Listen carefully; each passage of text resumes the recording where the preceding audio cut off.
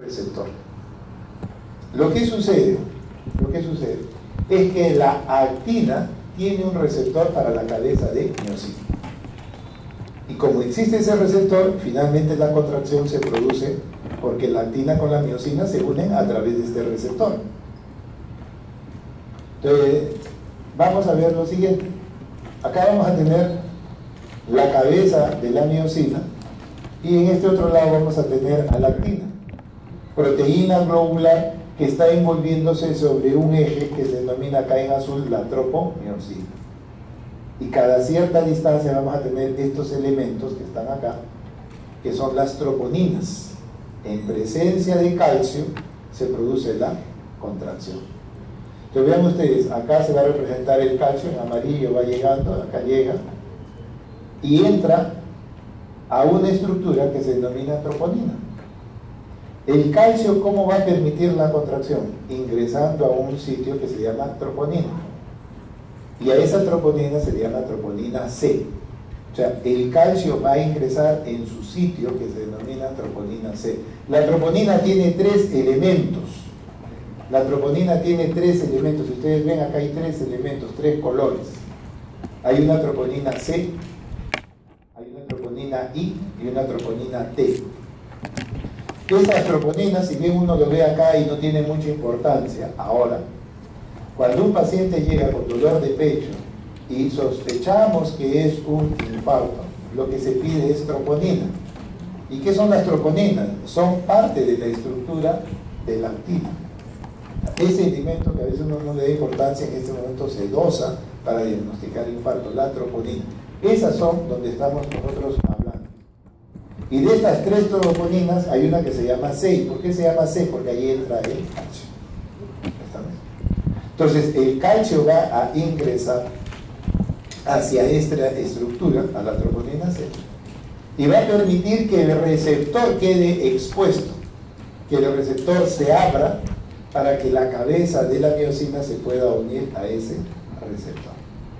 Entonces la presencia del calcio es importante, ¿por qué? Porque este calcio al llegar va a permitir que el receptor que tiene la actina para la miocina quede expuesto de tal forma que se una y se pueda producir la contracción. Si no hay calcio, ese receptor se va a cerrar y no va a poder haber contracción. La cabeza de la actina, la cabeza de la miocina no se puede unir a la actina, ¿por qué? Porque al no haber calcio, al no haber calcio, el receptor ya no queda abierto, se cierra y al cerrarse, pues lógicamente la cabeza de la miocina se separa, ya no puede estar unida y no vamos a tener contracción. Pues bien, entonces el calcio es un ion muy importante, sí. El calcio es necesario para la contracción, en este caso de la fibra muscular cardíaca. Y bueno, el calcio va a ingresar a la fibra muscular a través de unas estructuras que se llaman los túbulos T. A través de estos túbulos T va a ingresar el calcio a la fibra muscular. Y vean ustedes que acá estamos representando la banda oscura, la banda clara, la banda oscura, la banda clara. Y alrededor de, estas, de estos filamentos delgados y gruesos vamos a tener al retículo sarcoplasmático, al RES, el retículo sarcoplasmático, que es donde va a ingresar el calcio, es donde se deposita el calcio, es donde se almacena el calcio, y dependiendo de que si se necesita o no ese calcio, el calcio pasa al citosol, pasa hacia la actina y la miocina, determinando la contracción. Vean ustedes que lo que hemos estado hablando de la sarcómera, envolviendo a esa sarcómera vamos a tener al retículo sarcoplasmático. Y en ese retículo sarcoplasmático es el que se guarde el calcio. Y se guarda el calcio para que en el momento necesario se libere hacia el citosol que esté en contacto con la actina en el sitio llamado troponina C y eso va a permitir que el receptor de la actina para la cabeza de la miocina quede expuesto permitiendo la contracción. Entonces vean ustedes, nosotros hemos estado hablando de este sector, acá está la banda A, la mitad de la banda I, acá está la línea Z.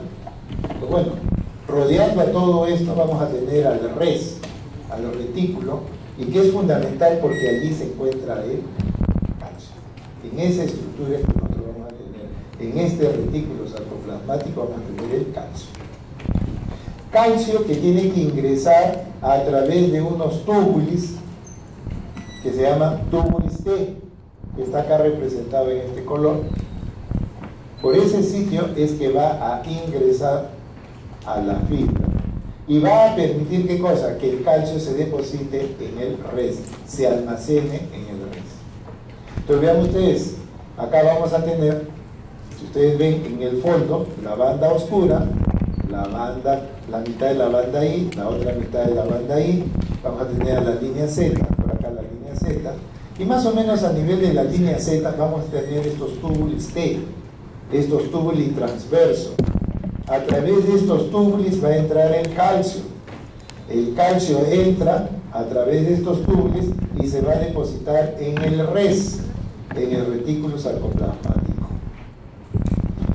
Pues bien, esa zona por donde va a entrar el calcio al res se denomina, esta zona se llama cisterna terminal. Esto es una cisterna terminal por donde entra el calcio para ser almacenado en el res. Si ustedes recuerdan por histología, a esto se llama la triada, donde vamos a tener un tubulite y acá vamos a tener una cisterna terminal de un lado y la cisterna de otro. A esto es lo que se denomina la triada y por este sitio es que va a entrar el calcio para favorecer la contracción. Por acá es que va a ingresar por a través de los túbulos Entonces vean ustedes la importancia de estos túbulos T o sistema tubular transverso. A través de ellos es que va a ingresar el calcio para que se produzca la contracción. Entonces, en esta manera, vean ustedes, acá vamos a tener este tubulite, acá vamos a tener este otro tubulite, acá vamos a tener el res, y bueno, ingresa el calcio.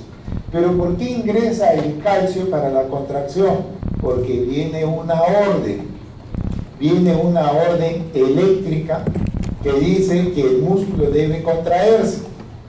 Entonces esa orden eléctrica va a llegar al túlite y hace que los canales de calcio se abran. Llega la orden eléctrica, llega el potencial de acción a este túlite y le ordena que se abran los canales de calcio. Entonces, en este tubulite se van a abrir los canales de calcio y el calcio va a empezar a ingresar hacia el res. Pero la primera zona ingresa en el res es lo que denomina la cisterna terminal.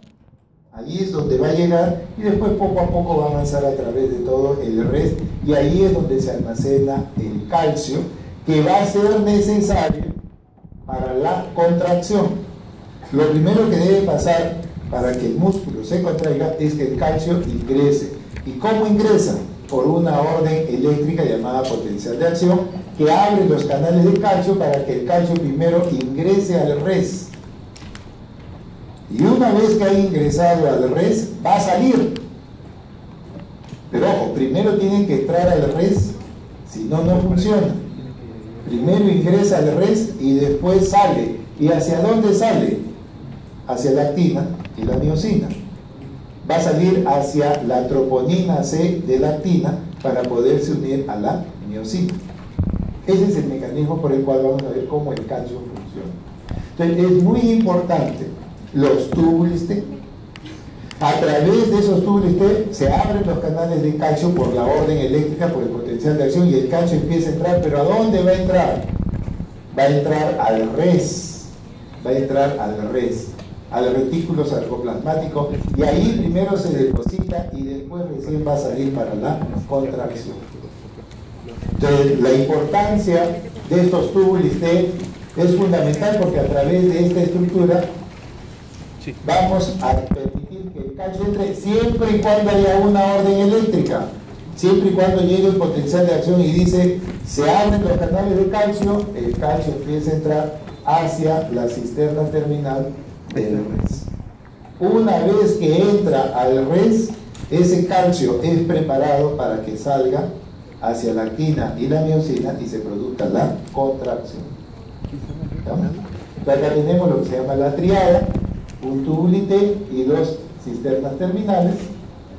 El calcio va a entrar al res a través primero de estas cisternas terminales y dentro del res se capacita ese calcio para que pueda salir hacia la actina, ingresar a la troponina C, se abre el receptor de la actina para la miocina y se produce la contracción. Entonces veamos de esta otra manera. Acá yo voy a tener el tubulite, yo voy a tener acá a la miocina y a la actina dispuesto en forma ordenada y paralela a la dispersión transversal. Y bueno, lo primero que debe llegar es la orden eléctrica para que el músculo se contraiga. Primero debe haber una orden eléctrica. Y esa orden eléctrica se llama potencial de acción. Entonces llega el potencial de acción al tubulite y ¿qué generamos? Que se abra el canal de calcio. Eso es lo primero que debe pasar. Número dos, una vez que se abrió el canal del calcio, el calcio empieza a ingresar a través del tubulite, pero no se va a ir de frente a unirse a la actina, no se va a ir de frente hacia la troponina C, no. Lo primero que tiene que es irse al res. Y para poder entrar al res va a depender de este canal que se llama rianodino a nivel del res se necesita de este canal, que es el organodino, que a través de él es que el calcio va a entrar hacia el res, hacia la cisterna terminal, ahí va a ingresar el calcio. Y una vez que el calcio ha entrado a ese res, se capacita y empieza a ser liberado. Empieza a ser a través nuevamente de este rianodino, este receptor, este canal receptor que permite que entre el calcio para que se capacite, pero también para que salga. Muy bien, ahora ya salió el calcio. Este calcio está capacitado para ir hacia la actina y permitir la contracción, permitir que la actina con la miocina se una en presencia del calcio. Eso es lo que va a suceder. El calcio finalmente va a unirse a la actina en su porción llamada troponina C y eso hace que el receptor para la miocina quede expuesto, permitiendo que la actina con la miocina se una, favoreciendo el fenómeno de contracción. Esto es muy importante. Para que el calcio pueda establecer el fenómeno de la contracción, lo primero que tiene que hacer el calcio es entrar y lo hace a través de los tubos siempre y cuando haya una orden eléctrica, y la orden eléctrica es un potencial de acción que ordena a que se abran estos canales de calcio que están en los tubos permitiendo que el calcio ingrese. Y el calcio va a ingresar al res. Y una vez que ingresa el calcio al res, después va a salir, porque es un calcio capacitado, va a salir para unirse con la actina y permitir finalmente que el receptor para la miocina quede expuesto favoreciendo el fenómeno de contracción. Eso es lo que va a suceder. Este es el potencial de acción. Lo vamos a ver en otra clase. Esta es la orden eléctrica que hace que este músculo se contraiga o se relaje. Es decir, la orden eléctrica determina un fenómeno mecánico. La orden eléctrica, para que este músculo se contraiga, va a establecer que el calcio ingrese, que el calcio permita la unión de la actina y la miocina, y eso va a determinar un fenómeno mecánico, el fenómeno mecánico de contracción, pero que no es sino obedecer la orden que da la actividad eléctrica, el potencial de acción. Entonces debe haber una relación, un acoplamiento entre la orden eléctrica del potencial de acción y la respuesta mecánica de contracción. Así es como se genera. Recuerden que el corazón, si bien es un músculo que se contrae y se relaja, obedece órdenes eléctricas. Y esa orden eléctrica está dado por estos potenciales de acción.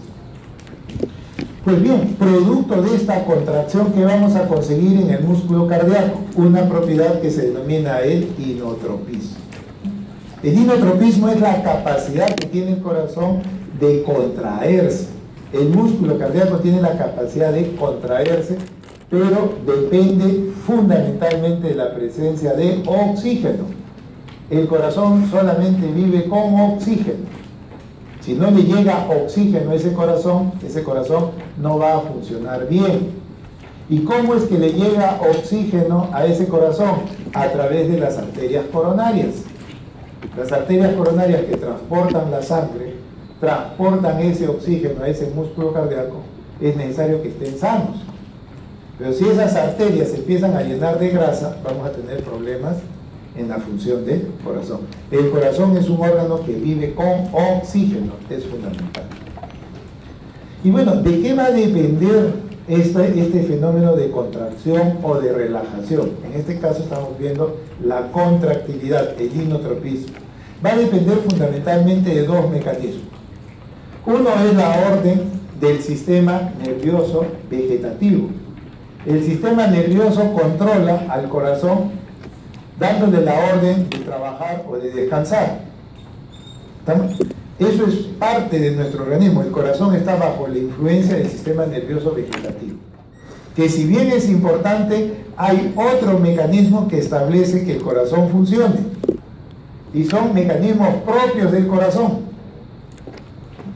El mismo corazón tiene la capacidad de determinar fenómenos de contracción y de relajación por ellos mismos. Es una función intrínseca.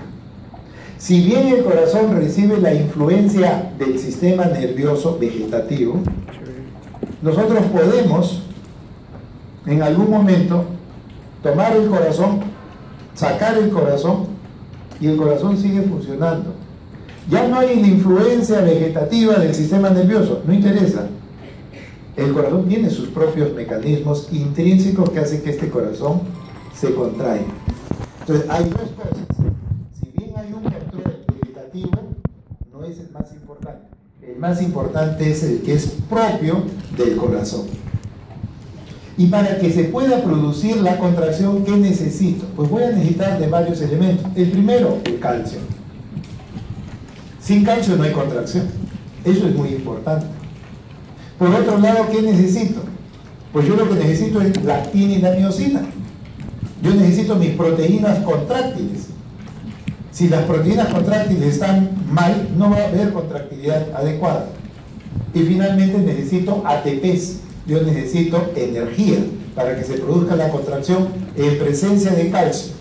Y con gasto de energía, ante una buena actina y una buena miocina, se establece la contracción. Entonces, si bien yo les digo que este corazón se va a contraer por una influencia vegetativa, el mecanismo más importante es el mecanismo intrínseco y el mecanismo intrínseco está explicado por la llamada ley de Frank Starling. La ley de Frank Starling establece que ese mismo corazón genere su propio inotropismo. ¿en qué consiste esta ley de Frank Starling? Para no hacerlo muy complicado, si ustedes ven un elástico, un elástico, la ley de Frank Starling funciona como si fuera un elástico. Recuerden que las fibras del músculo ventricular tienen que tener cierta elasticidad para que entre la sangre hacia un ventrículo que es como si fuera un globo, poco a poco se va llenando de sangre. Entonces tiene que haber una elasticidad de las paredes musculares, el músculo debe tener cierta elasticidad. Pues bien, si eso funciona como un elástico, ¿qué pasa cuando yo agarro un elástico y lo estiro? Al momento de soltarlo, rápidamente el elástico, por su propiedad de elasticidad, vuelve a su posición inicial. Si yo lo estiro más, con mayor rapidez y fuerza, vuelve a su posición inicial. Bueno, eso mismo pasa en el ventrículo. Y eso es la ley de Frank Starling. Conforme yo llene ese ventrículo con más sangre, sus fibras musculares se estiran más. ¿Y qué deben hacer? Rápidamente volver a su posición inicial. De tal forma que bombear la sangre. Si yo lleno ese ventrículo con poco volumen, las fibras se estiran poco y con poca fuerza volverán a su posición inicial. Pero si yo aumento el llenado del ventrículo, si yo lleno ese ventrículo con mayor cantidad de sangre, por el estiramiento que están sufriendo sus fibras, ellas van a volver a su posición inicial por la elasticidad y van a hacerlo con más fuerza. Y de esa manera ese ventrículo bombea más sangre. Entonces, dependiendo del volumen de llenado del ventrículo, se va a generar una respuesta de eyección, de bombear sangre. Eso es lo que viene a ser la ley de Frank Starling. A mayor volumen de llenado, vamos a conseguir una mayor contracción. Una mayor contracción. Entonces, ojo, ese es un concepto importante de la ley de Frank Starling. Entonces, lo primero, lo que sucede en un cardiomiotito, ¿qué pasaba? Sucede en todo el corazón. Muy bien. Segundo concepto, lo que nos permite que todo el corazón funcione rápido son las uniones GAP, que va a permitir que pase el potencial de forma rápida. Tercer concepto muy importante, a mayor volumen de llenado, yo voy a conseguir una mayor inyección, la ley de Planck-Starling. Si yo lleno ese ventrículo con poca sangre, bombeo menos. Si lo lleno más, bombeo más. Eso es una propiedad intrínseca. El sistema nervioso vegetativo no tiene nada que ver ahí. Si bien el sistema nervioso vegetativo controla nuestra respiración, nuestro corazón, eso es una influencia que siempre está. Pero si nosotros sacamos el corazón y lo aislamos, el corazón sigue funcionando por esta propiedad de la ley de Frank Starling.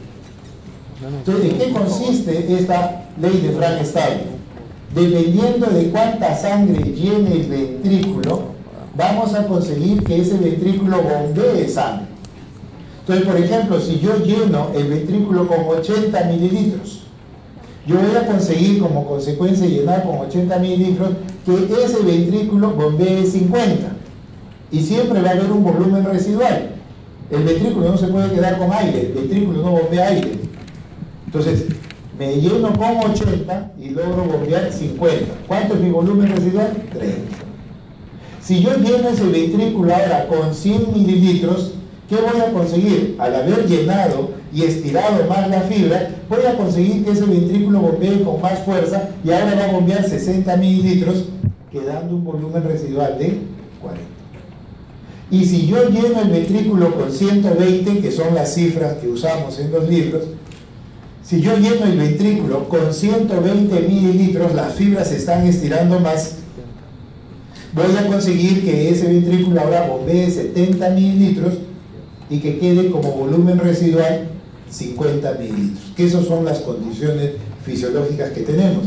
El ventrículo se llena con 120 y yo bombeo 70. ¿Con cuánto me quedo? 50. Eso es el trabajo de un corazón sano.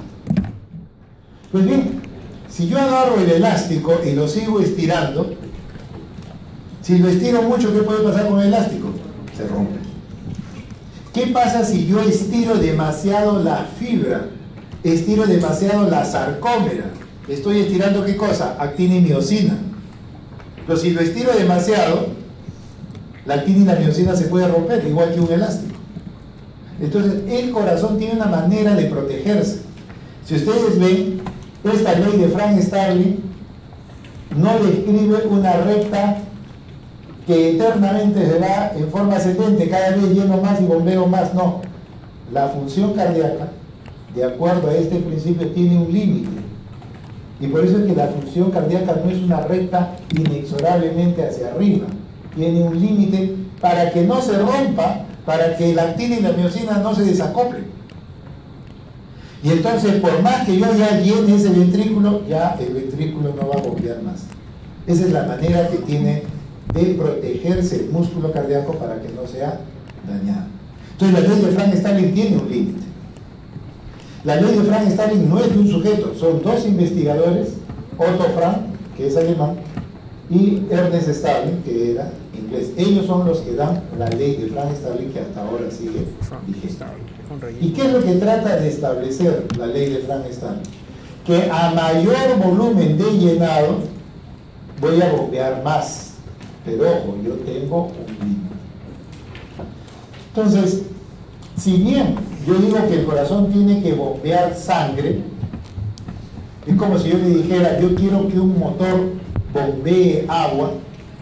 Si bien es importante el motor para que bombee agua, ¿qué necesitamos? Agua. Si yo quiero que este corazón bombee sangre, yo necesito que se llene de sangre. No hasta hace mucho todos estudiamos la función sistólica, todo era sístole.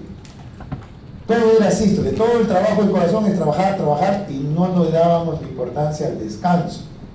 Es muy importante el momento de llenado. Si yo quiero que este ventrículo bombee sangre, me interesa que se llene de sangre.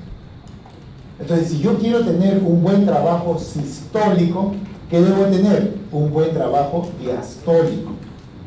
Y por eso me interesa saber con cuánto se llenó el ventrículo para poder entender su volumen de eyección. Para yo entender el trabajo sistólico, ¿qué debo hacer? Llenarme de sangre. Me interesa la diástole, el descanso del corazón. El corazón se llena en diástole para poder tener un buen trabajo sistólico. Si nosotros queremos que el corazón bombee bien, me interesa también el llenado. ¿Qué les quiero decir con esto? Que el trabajo sistólico depende también del trabajo diastólico. No son dos cosas independientes. No son dos cosas independientes. Si nosotros, por ejemplo, queremos trabajar, ¿qué debemos tener? Descanso. ¿Estamos? Entonces, si nosotros, nuestra rutina, supuestamente de 8 horas de trabajo, se supone que uno también tiene que tener un descanso. Porque cada vez voy diciendo que en medicina el descanso casi no existe. Se han metido una carrera que no descansamos mucho. Pero bueno, es así.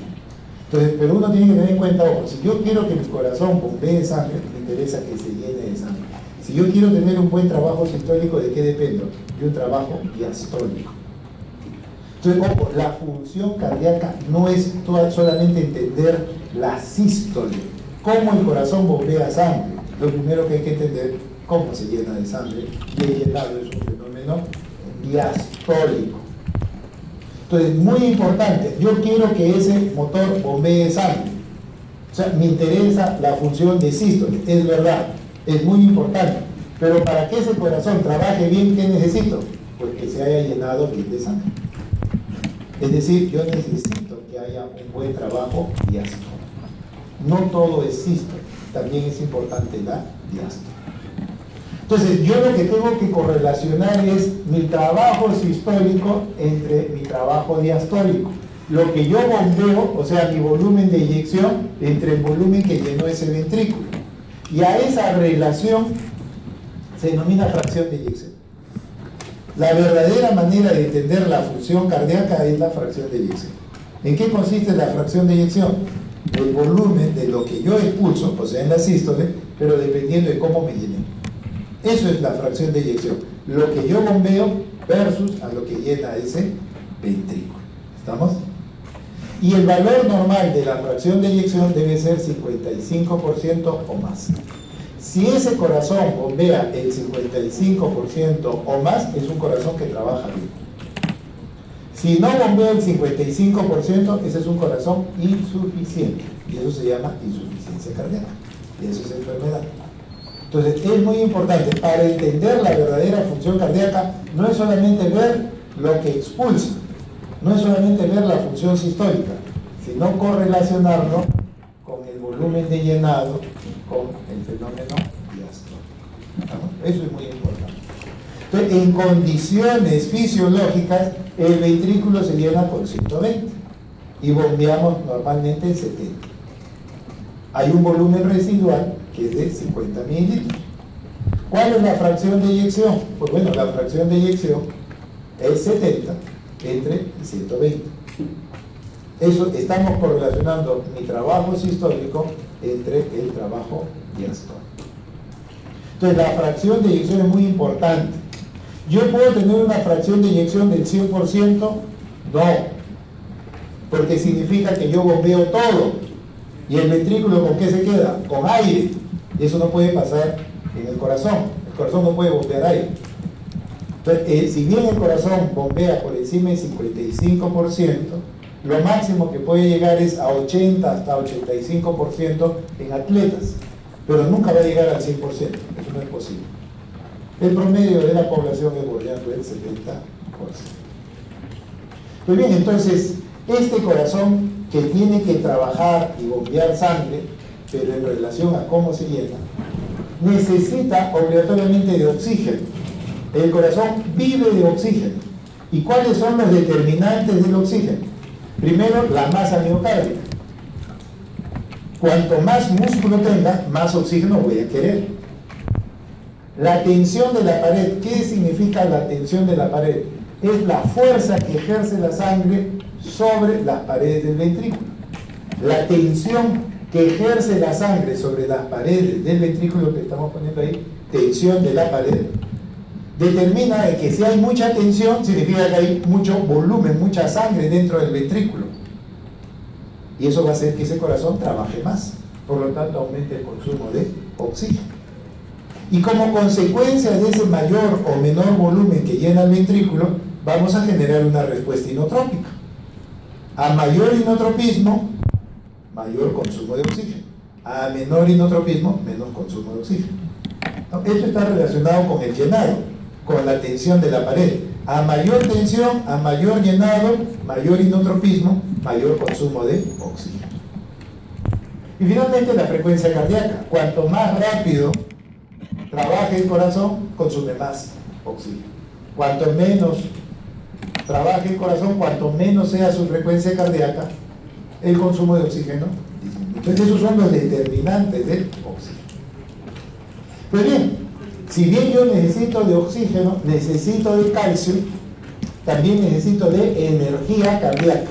Y la energía lo tenemos a través del ATP. El adenosin trifosfato, ustedes han estudiado en bioquímica, el ATP es necesario porque al liberar un fósforo, ese adenosin trifosfato libera energía, energía que es necesaria para este corazón funcione bien. Pero ¿de dónde obtenemos los ATPs? Pues el corazón en un primer momento aprende a obtener eh, energía, aprende a obtener ATPs de la glucosa. Eso lo tienen la mayoría de células, de la glucosa. Pero el corazón en su desarrollo aprende a obtener energía de los ácidos grasos libres. Y la glucosa lo deja de lado. La glucosa lo deja de lado. Entonces, en un corazón sano, en un corazón